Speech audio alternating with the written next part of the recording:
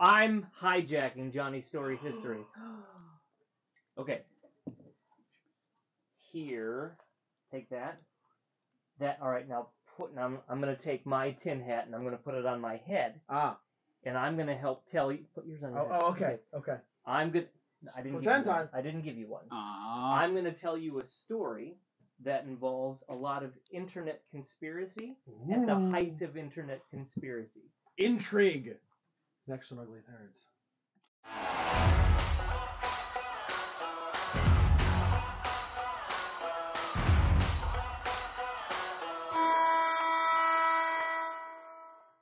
Welcome back, sports fans, to another episode of Ugly Thirds. Today's story is not Johnny's, it is Trem's.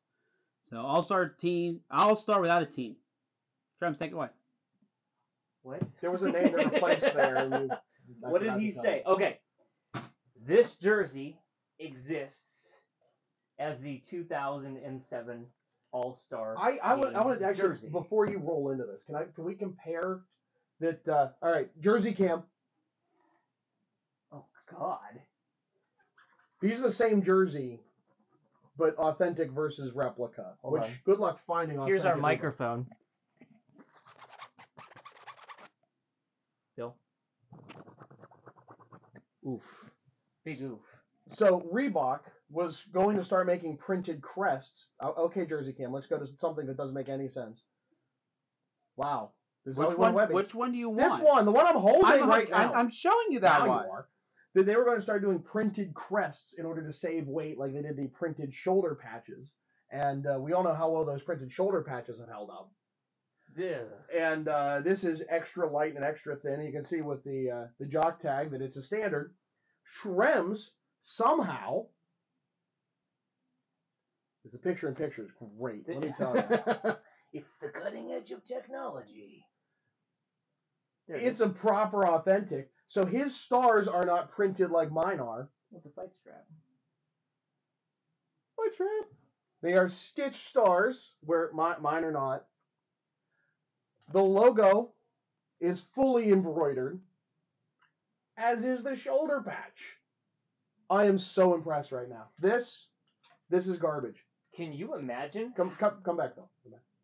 Back to where? Come, us. I was gonna very dramatically go like that, but like now I feel like a time. But he did. Well, Everybody gets it. Can you imagine weighting a player down like this with a Oh my god, they're gonna be like nine percent slower. okay, so 2007 All Star Game. We're getting into Reebok. We're moving away from CCM Koho. Um, we're introducing to the fans what the future, at least the next decade of uh, the NHL jersey scene is going to look like. On the surface, not bad. Good weight, maybe Except a little bit lighter than the CCMs, but overall a good quality. If you get the authentic. If you get, if you get the authentics. But uh, that that All Star game isn't without controversy, and it's because, if you can believe it, they allowed the fans to get involved in the voting process. Democracy in my NHL? Well, hear me out. This jersey existed. But this player in this jersey did not. And I spent the money on an authentic because this is something that I hope one day to stand next to Gary Bettman at an at an All-Star game, get a picture with him just so he can see that this does exist. I imagine that, Gary. I that's that. It was purely based on spite, but I imagine this is one of very few, if any, that even exists. I had it custom made. This is Rory Fitzpatrick. Do you know him? And the name's familiar, but you only probably don't, because the year in which this took place, he was with the Vancouver Canucks, bottom pairing defenseman. But the thought process came up with, what if we sent a a good guy to the All Star game, not based on stats, but based on being a good guy. So basically, that age-old story where you ask the internet to decide to make a decision for you, Right. and they decide to troll you into oblivion instead. We're in the infancy of the internet at this point. YouTube is just becoming a thing. So you're not going to get the publicity. Twitter is just becoming a thing. All of these things that we come to know as commonplace today didn't necessarily exist in, iPhone came out in 2007, Right. so that yeah, in in our daily lexicon did not exist. indubitably. So, leading up to the All Star game, people get this crazy idea. We want to vote in, and we want to make sure that a average, hardworking player makes it to the All Star game. Johnny Everyman makes the NHL 100%. All Star game. And we've got this bottom pairing defender in Vancouver that fits the bill, and that's Rory Fitzpatrick. Patrick Fitzroy. Right. He he is he is your average everyday NHL player. Not a lot of points, not a lot of penalties, just a good solid bottom pairing guy. So, the campaign starts with a website, voteforrory.com. I couldn't find a screen capture, an Ah. archive, I couldn't find anything, but I did find a few things. Phil, when you're done with your homework over there, if you could put the uh, uh, Oh, the slide up there. Yeah. Put that up there for me. You start this grassroots campaign in December 2016 when when polling opens. You have people who are out there pushing for this guy. I remember vote for Rory, he would vote for you. Right. I do remember. Barry that. Joe Quimby. Yeah. Um, but here's the thing about the. NHL website at this time. You are free to vote for whoever you want to as many times as you want to. Ah. as long as you fill out the form on the website in full. You couldn't just go in there and choose Rory, hit submit. You had to fill out the whole thing. You could do it as many times as you want to. And if you learn anything from the internet, it's that when people put their mind to something, they're going to do it. The next best thing is leaving the same graphic up for far too long. That's the other thing I've learned from the internet. And we're back. Fitzpatrick rolls into winter break for the NHL, sitting in second place. And I'll prove it to you. Go ahead, Phil. The next slide on that uh, on that presentation. We're making Phil work. Um, and I apologize for the quality. This is the best that I can do. A screen capture Versus. from versus, of course. Versus. Um, he heads into the NHL winter break second. Top two players in this category go to the All Star game. Okay. The NHL has realized that there's a mistake. They have they have allowed people on the internet to do something, and they've come together in great quantities and are doing it. That's a problem because this is supposed to be a game for the best players on the planet, Take it seriously, internet. and that's what Don Cherry goes off about. He Take is- it seriously, internet. he he is he is livid as Don Bunch Cherry is. He goes out on this massive tirade, and this this whole idea is that you are you Rory Fitzpatrick. They're making fun of you. This is a joke, and you're at front and center of that joke. Mm, It's not entirely wrong, but No, at the same not. time, it's good natured. It's not. So this is where this is where we stood heading into Christmas of 2016.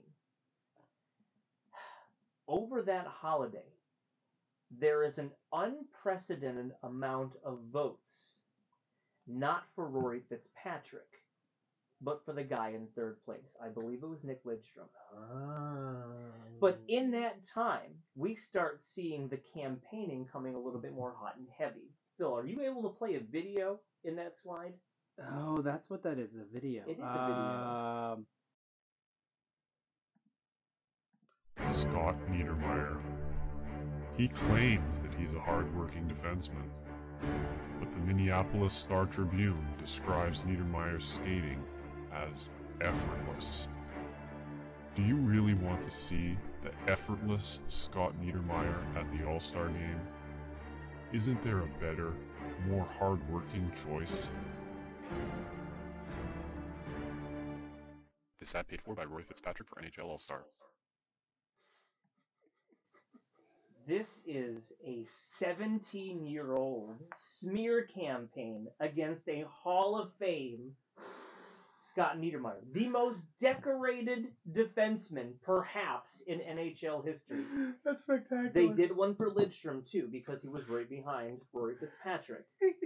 Okay? But like I said, over that winter break, something happens and there is a massive influx of voting. So either that got out to Detroit and hey, vote Nick Lidstrom, or the NHL was trying to rig it by pumping up Nick Lidstrom, and then it's not a problem. Rory Fitzpatrick lost on his own. I noticed you're wearing your tin hat as well. Yes. Something happens in those two weeks that the NHL, two ish weeks the NHL is on, on winter break. So we get back to the other side, 2017. Nick Lidstrom has an unprecedented jump in the standings, pushing Rory Fitzpatrick down to third.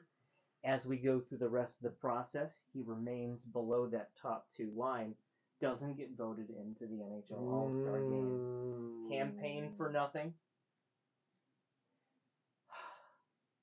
About a decade later, we find ourselves in the exact same shoes. post Boaty McBoatface. You can't give people the opportunity to do anything No, On the no, internet, I don't ask the internet for any opinions. to ruin it. They deliver. They go out of there. There's so many great examples that I'm not going to say because I don't want us to get flagged. Right. Ten years later, we find ourselves in the exact same position. The 2016 All Star game in Nashville.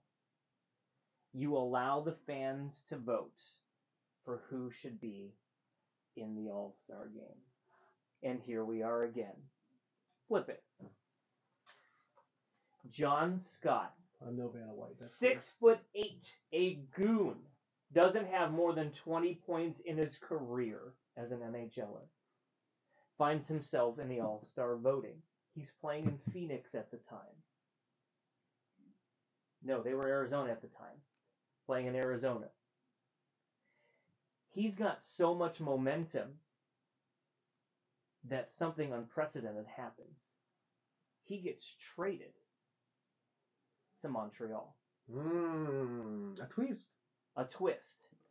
He goes from a Western Conference team to an Eastern Conference team. Problem.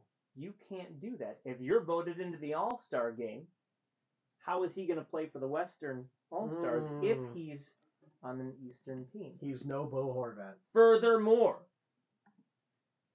he goes to Montreal. They bury him in the minors. He's Hmm. immediately assigned to the St. John's Ice Caps. Far out as you can get. So the internet, who had voted him in successfully, loses their collective mind, As we should. finds in the bylaws that it doesn't state anywhere that an NHL All Star player has to be in the NHL at the time. They bring these bylaws to the surface, present them to the NHL. At this point, Twitter and all of those things are all mainstream for us. The NHL is feeling the pressure of another Rory Fitzpatrick. They allot a spot for John Scott in an All Star game, but he's not a Western All Star. He's not an Eastern All Star. So they give him his own jersey. And that's the jersey that you see right there. Really? Yeah. So what team did he play on? He played, I think he officially played for the Western All Star team. Okay. But because he wasn't a Western All Star at that time, we had to go with something completely on his own. So they kind of had to make a, a slight different.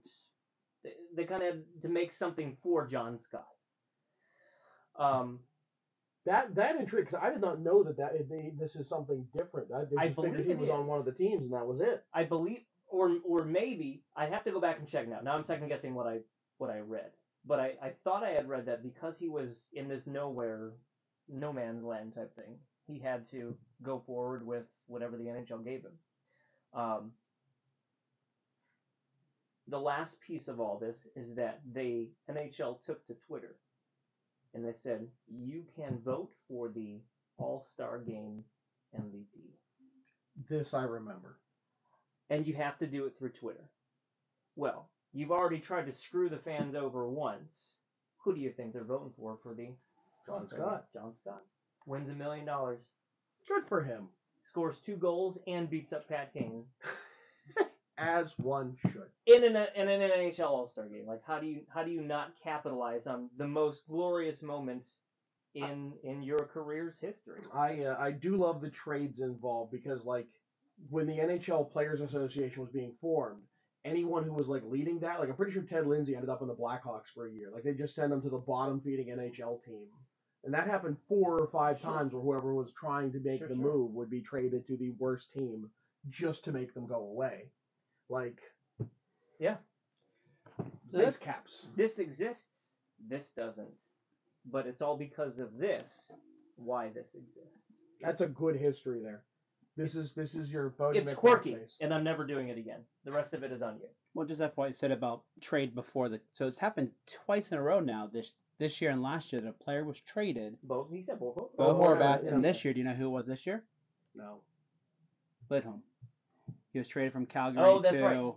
to um, Vancouver, Vancouver. mid-flight, right before the All Star game. So Which he doesn't matter as much. Like the, the fact it was changing what conference, and with the draft version, it didn't. Right. Well, I'm just saying, like, yeah, the draft version. But I'm just saying, like, you know, we we talked about how it was impressive to trade a player But that- before, that Western but it, it has happened conference with an twice now, the back to back. So it was funny. There was a, I think it was Instagram, where people were going around the NHL All Star game because they had all the graphics up outside the arena. And that so it was Elias Lindholm with his Calgary garb, even though he was on Vancouver at the time. So people were taking selfies and sending it to the NHL. and being like, Nice. Yeah, Nice. because that's what you do. You're the internet's there to agitate people, It's what we, the internet, do best. and that's it. Shrems, that was a good story. I That was like a good it. hijack. I'm never doing it again. So he's Shrems. I'm John. Phil, take us out. Don't forget to hit that like and subscribe button and ring the bell so you get notifications when we post new videos. And come back to another episode of Ugly Thirds. What'd you miss? I missed a Subban Winter Classic jersey because of Yeah. that story. Which Winter Classic? The the white one against Boston. You'll never see it again.